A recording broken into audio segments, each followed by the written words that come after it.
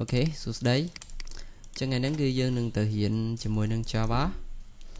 ប៉ុន្តែដើម្បីយើងរៀន Java បានយើងត្រូវមានកម្មវិធីសម្រាប់ទៅសេ Java វាសិនចឹងខ្ញុំសង្ខេបសង្ខេបព្រោះយើងបញ្ញាប់ចឹងយើងដឹងហើយថា Java ហ្នឹងគឺជា language មួយដែលសម្រាប់ទៅសេនៅកម្មវិធីសម្រាប់ computer ដែលវា support OS ទាំងអស់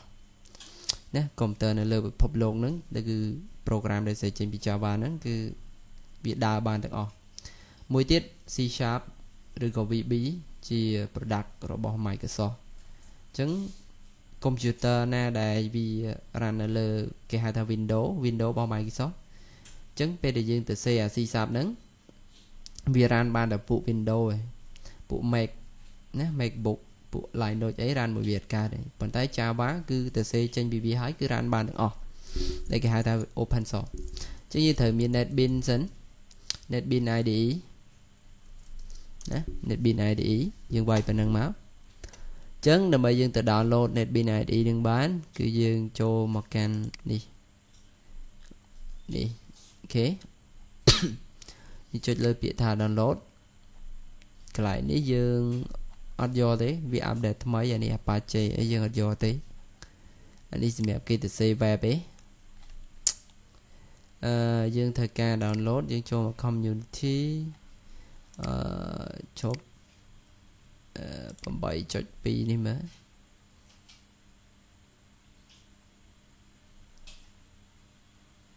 អូខេចឹងយើងយកអឺ standard standard JDK នេះសិនមើល នេះវាអត់មានចូលខុសកន្លែងអឺនេះ lastjava.com ជប់មែនទេចឹងយើងចុចទៅលើពាក្យនេះ JDK with NetBeans នេះអូខេចឹងយើងចូលមកយកសម្រាប់ Windows របស់យើងអឺ អានេះ JDK អឺយើងវាយថាអញ្ចេះយើងចូល Google អានឹងវាញញ៉ៃតិចវា update ថ្មី JDK with NetBeans វាយអញ្ចេះនេះអូខេអូខេអញ្ចឹងយើងវាយប៉ុណ្ណឹងមកអញ្ចឹងយើងយកអា sub license កន្លែងនេះបន្តមកយើងចុច download នេះ អឺខាងក្រោមគេ Windows 64ចុច download មកចឹងវាមានទំហំ326 MB ចឹងវាត្រូវចំណាយពេល8ទៅ9នាទីនៅក្នុងការ download ក៏ប៉ុន្តែមុននឹងយើងទៅចាប់ផ្ដើម start ជាមួយនឹង JDK យើងនឹងចូលទៅកាន់ introduction របស់ Java បន្តិច ហើយតើ website ណាដែលយើងអាចរៀន Java ដោយខ្លួនឯងក៏ដូចជាយើងបានស្រាវជ្រាវមួយចំនួនតាក់ទងជាមួយនឹង Java ហ្នឹងអញ្ចឹងយើងនឹង search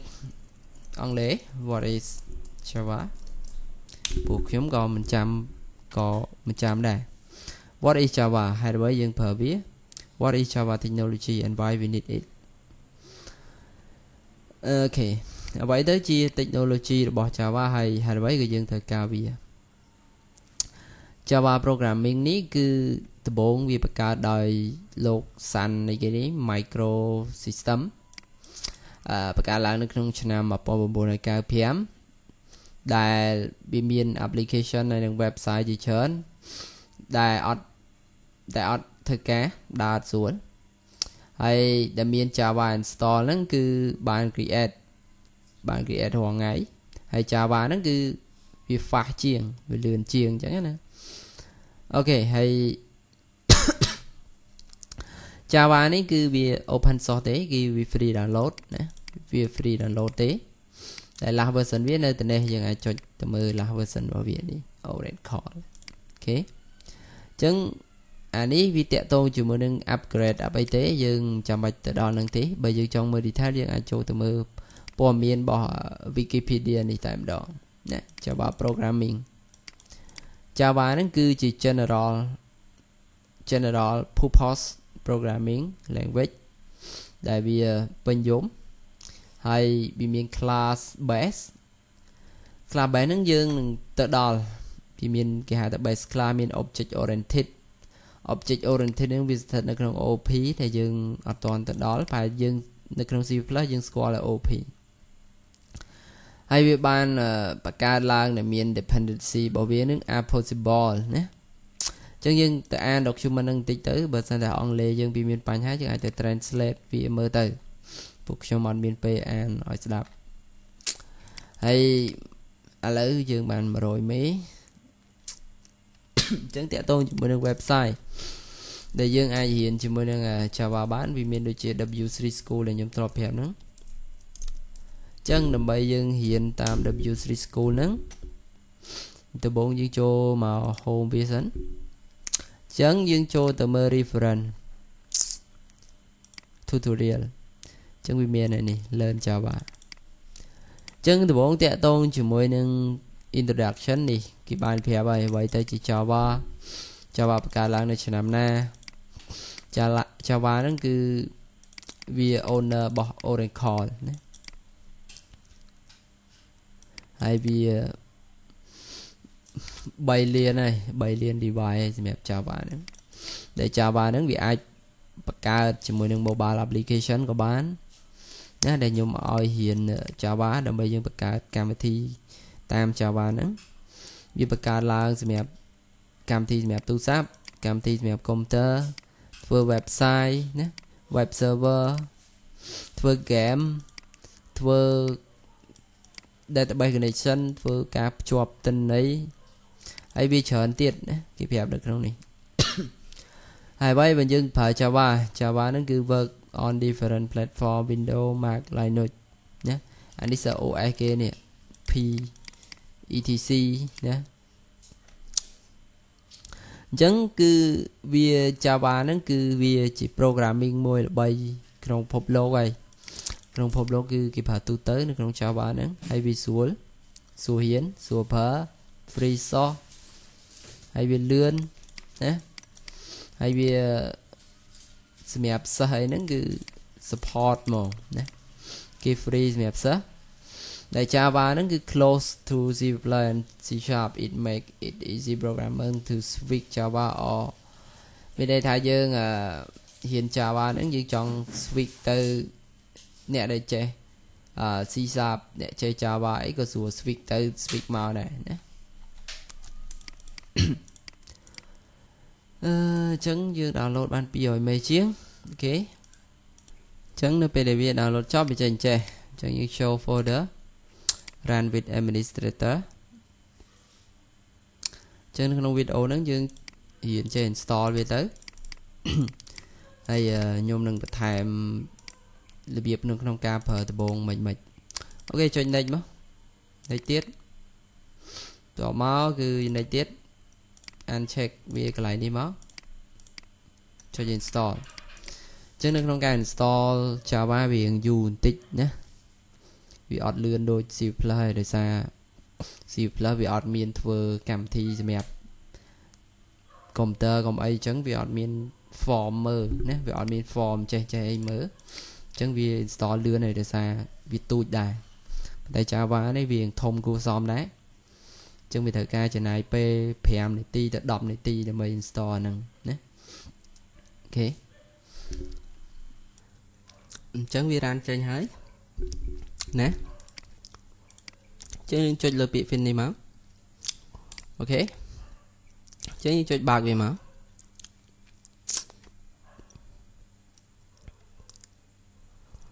ខេអញ្ចឹងអានេះគឺជា IDE មានឈ្មោះថា NetBeans ដែលតួនាទីរបស់វានឹងគឺសម្រាប់សរសេរ Java ដែលនៅក្នុង NetBeans ហ្នឹងគឺអាចសរសេរហើយ Java ហ្នឹងគឺបែងចែកចេញជាច្រើនប្រភេទណាវាមាន Java Swing Java FX វាអាចសរសេរ C++ បាននៅក្នុងនឹងដូចគ្នាវាមាន Java SE ប៉ុន្តែ Java ដែលយើងនឹងលើកយកមករៀនគឺ Java Swing ពេលដែលយើងចុច នៅលើនេះយើងចុចលើពាក្យថា new new project ចុចមកយើងនឹងឃើញមាន Java JavaFX JavaFX នេះក៏គេពេញយមដែរប៉ុន្តែ Java ដែលយើងនឹងលើកយកមករៀនគឺ Java Java application អូខេចុច next អញ្ចឹងដំបូងណាដំបូងកន្លែងនេះយើងត្រូវដាក់ឈ្មោះឲ្យ class របស់យើង លើកមុន class របស់យើងយើងអត់ទាន់មាន class ទេបើចុច name យើងអាចដាក់ថា testing ឬក៏ដាក់អីស្អាចិត្តអូខេចឹងនៅក្នុង Java វាមាន package របស់វាឃើញទេពេលដែលយើងបង្កើតដំបូងវានឹង generate package ឲ្យយើង automatic ដែលមានឈ្មោះដូចបច្ចេក name ក៏ប៉ុន្តែយើងក៏អាចបង្កើត package បានដែរ យើងអាចបង្កើត package name បានខ្លួនឯងឧទាហរណ៍ថាយើងចង់បង្កើតថាអឺ package ឈ្មោះថា hello អញ្ចឹងក៏មាន package ឈ្មោះថា hello ដែរប៉ុន្តែ package នឹងវាទទេស្អាតវាអត់មានអីទេដូចជាអា package ដែលវា generate automatic ឲ្យយើងគឺវាមាន class នៅក្នុងហ្នឹងឈ្មោះថា testing.java ចំណែកឯ hello ដែលយើងទើបតាបង្កើតមិញហ្នឹងគឺអត់មានអីនៅក្នុងហ្នឹងទេអញ្ចឹងបើយើងចង់បាន class យើងត្រូវ right click យកពាក្យថា new យកពាក្យថា java class អូខេអញ្ចឹងយើងចុច finish អញ្ចឹងបានយើងបាន class មួយនៅក្នុងហ្នឹងក៏ប៉ុន្តែឥឡូវយើងអត់ទាន់ទៅដល់ហ្នឹងទេ hello ហ្នឹងគឺខ្ញុំលុបចោលសិនយើងនឹងបង្កើតអា class ដែលមាន generate automatic នៅក្នុង Java default របស់វា គឺត្រូវតែមាន class មួយ class យើងឈ្មោះថា testing ដូចបច្ចេកចឹងហើយអា public void main នេះវាដូចជា យើងទៅសេនៅក្នុង C++ អា function main អញ្ចឹងអានេះក៏ដូចគ្នា វាស្តៀងគ្នាទេគាត់អានេះគឺនៅក្នុង Java public static void main string array arun នេះណាបើយើងនិយាយទៅកន្លែងហ្នឹងជា argument ប៉ុន្តែយើងអត់ទាន់ដល់ទេចាំតិចទៀតលើមុនយើងចង់បញ្ចេញតម្លៃអីមួយយើងសេ C out មែនទេនៅក្នុង C+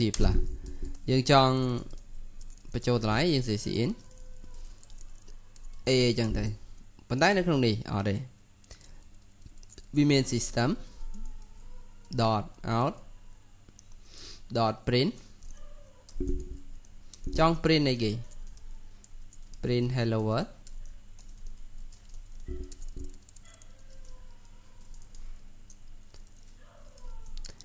យើងពេលដែលយើងចង់រ៉ាន គឺយើងត្រូវចុចកន្លែងនេះនៅក្នុង Java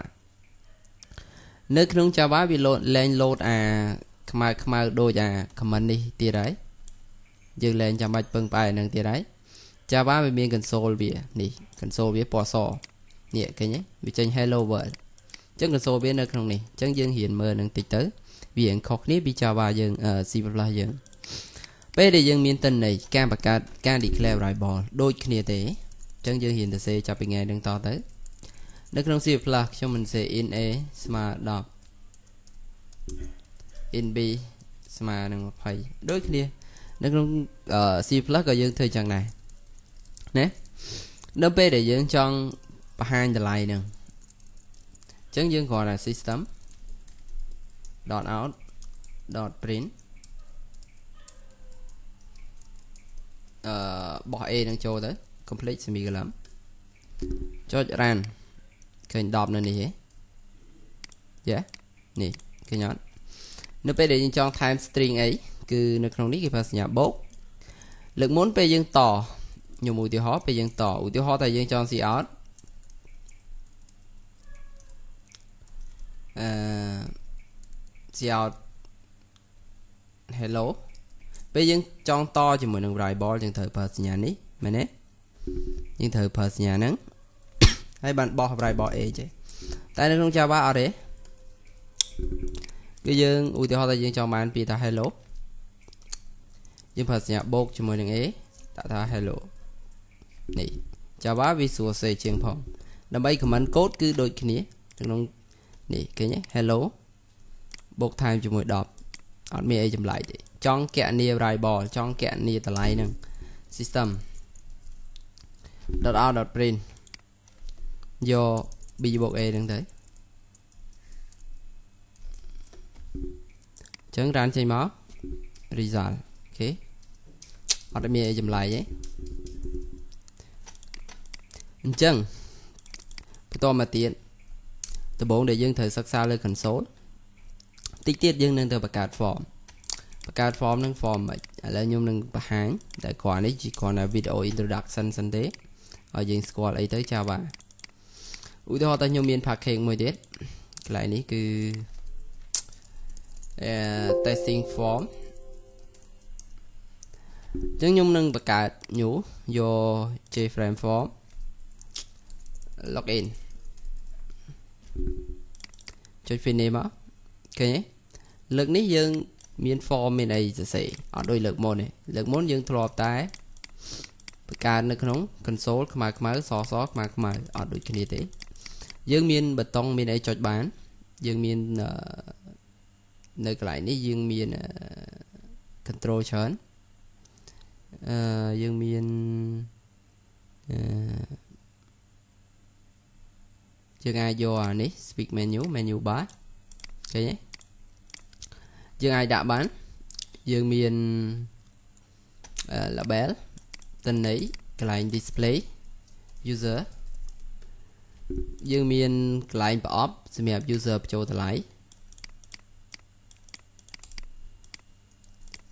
ណាយើងអាច copy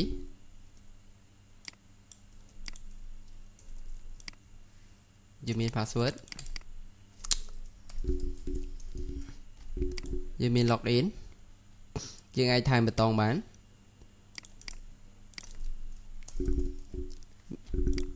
អូខេអញ្ចឹងអានេះគឺ easy ទេឲ្យតែយើងចេះ C+ ហើយអឺ login អឺ system easy right click នៅកន្លែងនេះវាជា property វាយើងអាច change color អក្សរទៅជាពណ៌អីយើងឆ្លាញ់អឺយើងអាច change font អឺ font វានៅនេះ font ជើងចង់បានប៉ុន្មានចង់បាន font ទំហំ font វា24 bold អឺនេះវាអត់ស្គាល់ font ខ្មែរចឹងដើម្បីឲ្យវាស្គាល់ font ខ្មែរបានអឺ sorry អានេះវាអត់ស្គាល់ font ហ្នឹងមិនស្គាល់ font ខ្មែរមកពីយើងយកអង់គ្លេសដាក់ font ខ្មែរអញ្ចឹងវាស្គាល់អឺខ្ញុំយកអង់គ្លេស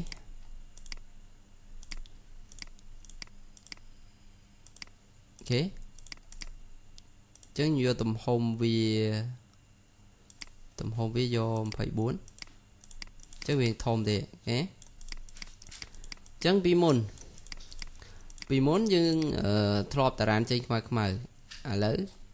យើងរានមកលេខចេញខ្មៅខ្មៅទៀតយើងរានចេញ form ក៏ប៉ុន្តែមុននឹងយើង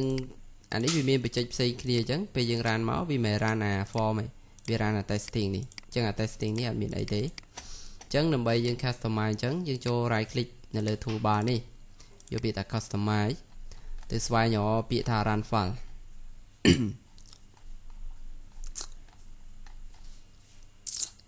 អឺស្វែងរក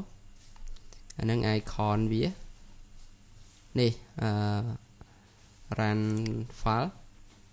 run file run បច្ចេកទាញដាក់សាមើល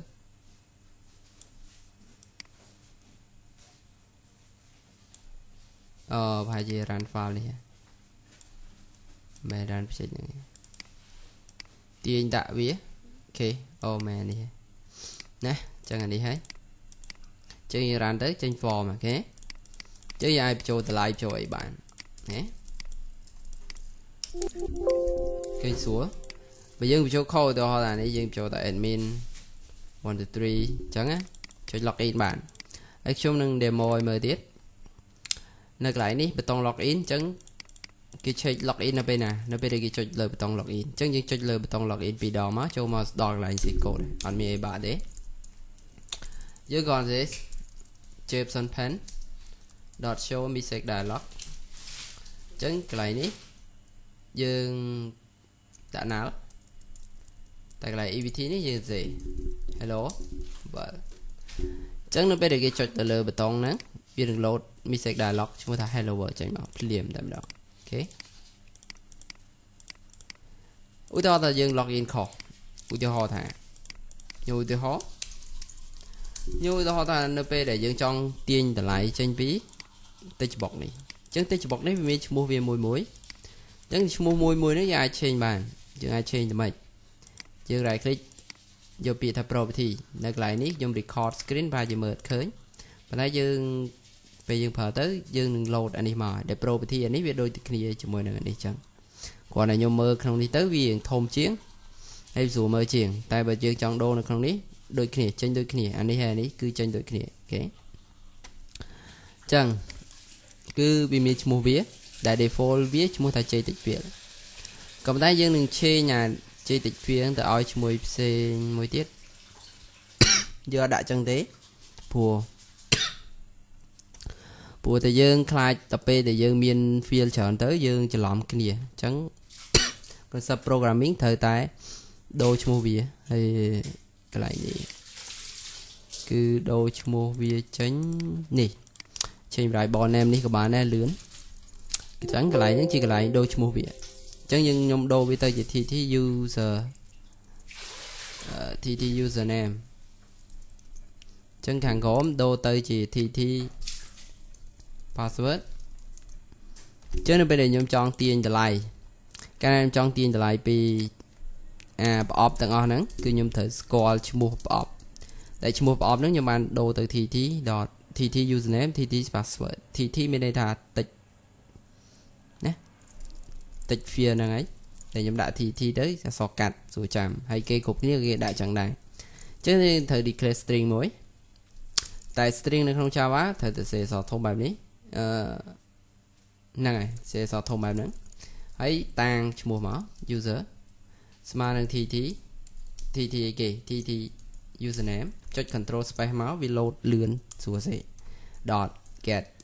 get អីគេ get text get name get text គេ get text នៅពេលដែលវាចេញអញ្ចឹងយើងត្រូវ declare string មួយទៀត string ត្រូវអក្សរធំ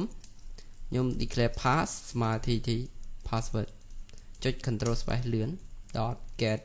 get អី get text get text មានតែយើង get អ្វីដែលគេ user បញ្ចូលយកមកចឹងយើងចង់ដល់គេ get បានបាន system មួយមក system.out.print មកចឹងហ៎ print បោះតម្លៃចូលមកបោះជាមួយនឹង user user comma មួយផាស អឺនេះ print ម្ដងពីរទៀតបាន